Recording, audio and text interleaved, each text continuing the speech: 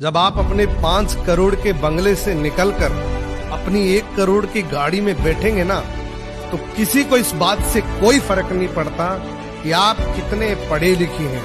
आप गोरे हैं या काले हैं।